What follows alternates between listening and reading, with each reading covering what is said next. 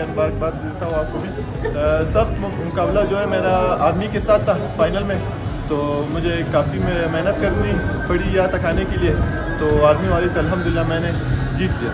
तो कैसा रहा ये चैम्पियनशिप आपके लिए? ये बहुत ज़बरदस्त बहुत बस गवर्नमेंट से हम लोग गुजारिश ताकि हम लोग को सपोर्ट करें। हमारे बलुस्तान में टैलेंट बहुत है। बस सपोर्ट नहीं है इनको पॉलिश करने की ज़रूरत है। गवर्नमेंट को हमें सपोर्ट करना चाहिए। अच्छा। दो हज़ार इक्कीस में मैंने सिल्वर मेडल भी हासिल किए। अल्हम्दुलिल्लाह वुशु की बॉक्सिंग में। माशाल्लाह। और अभी काफ़ी टूर्नामेंट्स मैंने खेले। बलूचिस्तान में मैंने गोल्ड लिया था। आल बलूचिस्तान में। तो फिर मैंने सिल्वर लिया अ, 2021 में नेशनल नेशनल में।